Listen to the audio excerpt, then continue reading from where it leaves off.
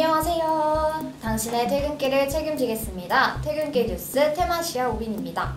방송인 함소원의 거짓말이 프로그램 종료라는 파국으로 이어졌습니다. 남편 진아와 출연 중인 TV조선 아내의 맛에서 재력을 조작했던 함소원은 시청자에게 딱 걸리고 말았죠.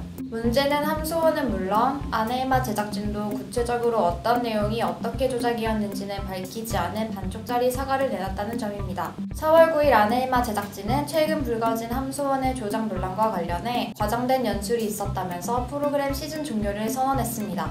앞서 아내의 맛에 등장했던 함소원 시댁의 중국 하얼빈 별장이 에어비앤비에 소개된 숙소였고 함소원 부부의 중국 광저우 신혼집 역시 단기 렌트 사이트에 매물이 올라온 집이라는 사실이 알려졌는데요. 내부 인테리어까지 동일했고 방송 시점보다 먼저 해당 집이 등록되면서 조작 의혹은 더욱 커졌습니다.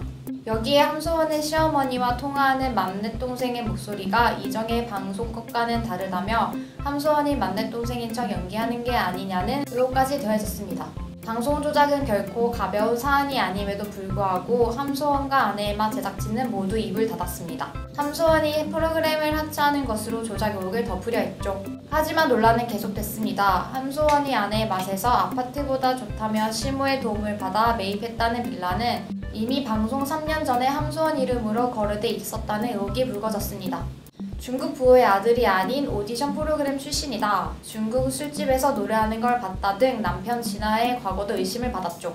여기에 재벌 이세라던 함소은의 전 남자친구가 사실은 실존 인물이 아니라는 주장도 나왔습니다. 방송뿐만 아니라 이전의 과거까지 파헤쳐질 위기에 처하자 함소은과 아내의 마측 모두 조작 사실을 인정했습니다. 하지만 제작진은 모든 출연진과 촬영 전 인터뷰를 했으며 그 인터뷰에 근거해서 에피소드를 정리한 후 촬영하는 것을 원칙으로 했다면서 출연자의 재산이나 기타 사적인 영역에 대해서는 개인의 사생활 문제이기 때문에 제작진이 사실 여부를 100% 확인하기에는 여러 한계 가 있다며 모든 책임을 함소원 탓으로 돌리려는 뉘앙스를 풍겼습니다.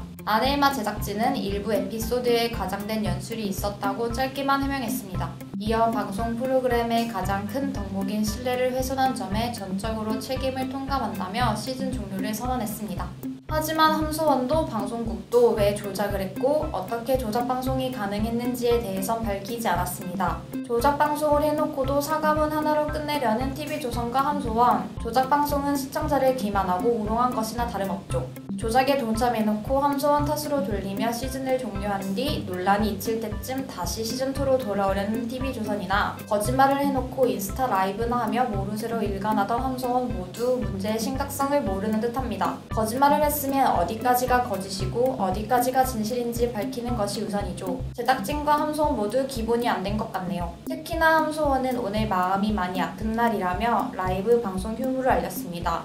대중은 함소원의 이러한 행동을 보고 피해자 코스프레라고 비난합니다. 속인 건 본인이면서 속은 대중의 분노를 공격으로 받아들이는 태도이기 때문인데요.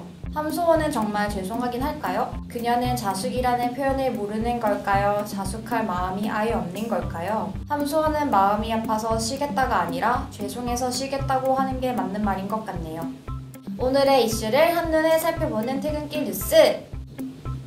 구독과 좋아요, 알림 설정까지 부탁드립니다. 안녕.